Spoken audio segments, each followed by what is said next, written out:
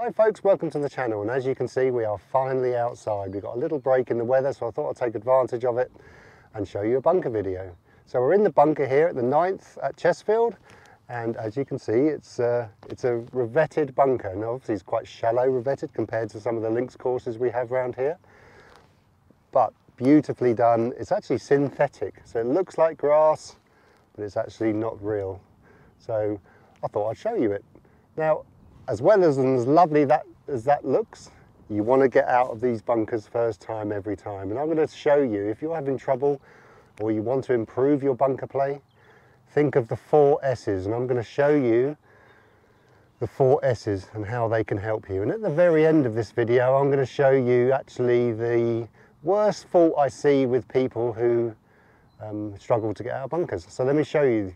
So to start with, a bunker is complete, a bunker swing and a bunker action is completely different to your normal swing. So do not take your full swing and or your normal golf swing to a bunker shot. Right, the four S's. First one, stance. Nice and wide, you can see the flag there. Our feet are gonna be slightly left of that. We don't wanna go too much and we here we've got to open our stance. We're gonna say just very minimally but our stance, as you can see from the front view, is quite wide and our hands are low. So that's the first S.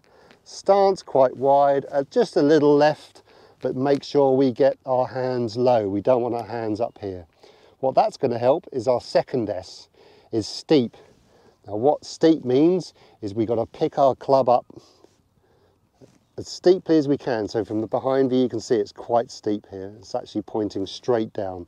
What we don't want in a bunker, and any short game, in fact, is our club going round. So there's no arc in a chipping action. It's just steep. And obviously we can carry on that way. So what I would say there is steepness of our backswing is creating natural length. If we didn't have any steepness and no wrist angle, we wouldn't have any natural length and we'd have to do the work and shove it ourselves. So having a wrist angle, a very hingy, wristy backswing, remember you don't have to turn doing this, and that makes us stay nice and centered over the ball, but we're hinging our wrists as quickly as we can away from the ball. That gives us that natural length. So the second S is steepness. We've got steepness on the way back, we've got natural steepness on the way down. While I'm chatting, let me just try and show you one. So it's nice, it's very short bunker shot this, but you can see the actual length I had there. Third S is speed. Speed's going to be your friend. What you don't want to do is decel and get a bit scared of it, especially if it's a longer bunker shot. But if you've got a bit of um, steepness and a bit of hinge on the way back, the club head will do the work for you. You're generating the momentum because the backswing is a little longer. So you can see there, I've got that little scoopy, but you can see a bit of check. That hinge of those wrists will give you the natural speed. But anyway, what you need to do is focus on that kind of real pop down there. So stance, make sure you have your hands low, that's going to help with the pickup. Little hinge and then speed down at the bottom you can see, for even for a short little bunker shot, got that a little heavy, my swing is still quite long. The fourth S and the final one, so we've got stance, steepness, speed, and this is straight. So I kind of mentioned it very slightly at the very start here, is a bunker shot is not rounded at all. So there's no arc in a bunker shot you want the bunker shot to be very straight. Now there's going to be obviously some natural inside, but you don't want this club going behind you at all because you're going to lose the steepness. So the fourth S is straight. Our club wants to be going pretty much straight up and down. To help with that, we don't want to be too far away. In our stance, that keeps our hands low. If you have your hands low, you can get your club going back straight here. So you can see from the front view, I'm not turning off the ball at all. I'm keeping my weight pretty centered. There's obviously a natural 10% weight going onto my left side, but there's no physical movement and turn over to my right side like a golf swing would be. So remember, we don't take our full swing to a bunker shot, especially a greenside bunker shot. Obviously a fairway bunker shot it would be, but a greenside bunker shot around here, we do not take our um, a normal swing to it. So the fourth S is straight, keeping the club very up and down and not around. One more and I'm going to show you the biggest fault that I see with people who struggle out of a bunker. One more, got the face kind of open, so the stance is open, only a little as you can see. Everything's parallel to that. The club's open a little bit. I've got a short little shot here, so I'm going to give it a little bit of an open face, but nothing too major. Remember, you don't want to open it too much.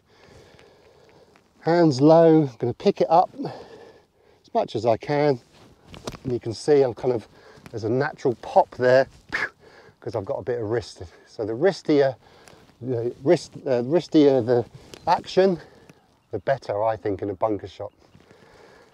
Top players actually are very kind of wristy in their natural bunker shot. Remember, there's loads of different actions out there. You see loads of different bunker shots, little low spinny ones, very soft landing ones, but our majority of our bunker shots want to be the standard type of shot here. Remember, length is your friend here. Just like a chipping action, you don't want a short backswing because you're going to have to generate the, the, the hit, and that's a really bad thing for technique having a, a bunker swing or short game swing that's short to long is always going to cause problems by lifting up. Having a long backswing, longer, longer actually the better. So make sure the club, you can see there how long my swing was and the ball's only just gone past the flag, which is only 10 yards away, 30 feet away. Okay, so let's go on to the last kind of if, if any of that is causing you some problems, this is the this is the main one I see that people who have long-term problems with their bunker, bunker play. As you can see, I'm kind of left slightly. What people do is this. Basically, I'm going to show you actually rather than say what I did. So, up. You can actually see I might slow that down just for visuals, but I will go through it with you. Is I'm aiming slightly left, but my instinct's telling me the flag's over to my right slightly. So I picked it up like a normal swing, but then I went out to where the flag is. And what I actually did, I just hit an inside shank. Well, the ball went out, but I actually hit an inside shank. So what that actually means is going back to the straight S, is you need this club to go down and then not away from you. Your hands don't like, especially if you're stuffing, suffering from an over the top. What you don't want to do is feel like, right, okay, my full swing, I need these arm, my arms to be a bit more away from me. But you don't want to do that in a bunker shot. You want to keep your, your hands going up and down, not around. So you want to be parallel to these lines all the time. So the club does not want to go ever outside that outside line. So let me draw, let me draw that hopefully a little bit more prominently so you can see it from the behind view. Can see the parallel lines there.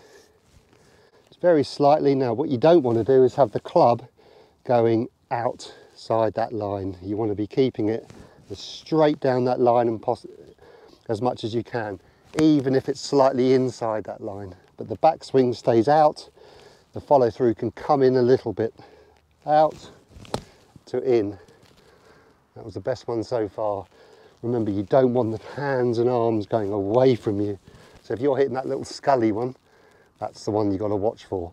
That's the actual sequence. The club wants to be going across your left foot, obviously for right-handers. So up and across instead of up and away from you. Right, so let's try a couple more, see if we can hold one. Now, I said there's going to be one final tip, which was that. The one thing that I would like you to introduce into your bunker play if you're struggling, even if you're not struggling, I'd like you to introduce the only time we can really let this club pass us and we actually kind of, you can see what I'm doing with my wrist there, I'm kind of scooping, show you from the front view. So in a chipping action, you're kind of holding on a little bit. You're allowing the club to go a little bit. But in a bunker play, we don't. We want this club to be passing our hands as quick as possible. Now that's exaggerated. You don't hold on to the hand handle with a chipping uh, bunker play. You do for a pitch and chip shot, but for a bunker shot, you let this club pass your hands.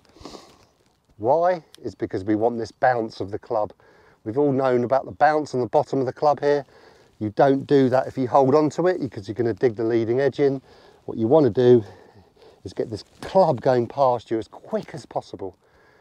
But to do that, you've got to have the steepness and the speed as well to bounce that club off the ground. If you haven't got the steepness and you try and get the club back to it, you're probably going to thin it or the club's going to hit way back here. So if the club's hitting way back behind the ball, firstly, watch your stance, nice and wide, low hands, really pick that club up as steep as you can. Then you can got natural down and then you're going to fire the club face past your hands to introduce that bounce. Let me show you a couple. Nice and wide, really steep in my hands, pick it up. And you can see how I'm finishing. I'm finishing with my hands, my club going past my hands there. I'm not holding on. That's a massive secret, folks, by the way. Don't be afraid to kind of flick it. Really great, and it's really going to introduce the bounce on the club. If your ball is plugged and we go into more kind of detailed bunker shots in the future, don't do this because you obviously want to drive that leading edge in. But if the ball's lying normally like it is, left and left, which means slightly left stance, open club face, pick her up and then fire. You can see how much speed there was down there and that's the one that's gone the shortest because I really got that club under there, really focused on getting that club under the ball. Last one, right, I need to try and hold one now. Pressure's on. Okay, it's a little bit longer. Remember, we don't hit it harder, we just swing it longer, build that momentum up. Slightly open, slightly open stance because we've got a kind of a downhill halfway to the, the hole. Really pick her up, really feeling like these thumbs are pointing to the sky and I'm going to fire this club past my hands. Nice and still, I'm not, no weight transference, keeping my head still, pick her up, hit that a little heavy actually, worked out okay. So remember the four S's, really important, the four S's. We've got stance, steepness, we've got speed, and we've got keeping the club straight. Doesn't go out in front of us, and especially that one. We never want the club to, hands to go away from us. We want to keep everything nice and tight, up and down and across. And remember, we are allowing from the front side there, we are allowing this club to fire down and past our hands. Okay, hope that helps. Hope that's given you a little insight into trying to be a consistent bunker player because getting into a bunker, what you want to do first of all is get this bunker, get this ball out first time. You do not want to be in there taking three or four. It's going to be a real confidence uh, drainer because and what that will do, it'll really upset and take away the confidence of your approach play because if you've got bunkers around the green, you're going to be a little bit nervy into your approach play as well. But if you've got a bunker um, play that's reliable, it doesn't have to be perfect straight away, you just want the ball to come out, you've got a kind of a reliable, consistent bunker play that you can get the ball out first time. It's going to make your approach play much more less stressful and then that'll improve your golf. So having this area of your golf quite tight will really be a benefit to your golf and your scoring. If anyone would like any comments and put any comments down to um, tell me how this video went or how your bunker play improved, hopefully after seeing this, I'd love to hear from you. We've got Trev here, who's actually in the buggy over there sitting, um, being a good boy. So from Trev and myself, I'll hopefully, hopefully see you outside next time. If not, I'll see you in the academy. And please let me know if you, uh, if you need anything specific for me to talk about. Okay, for the next time, I'll see you soon. Cheerio.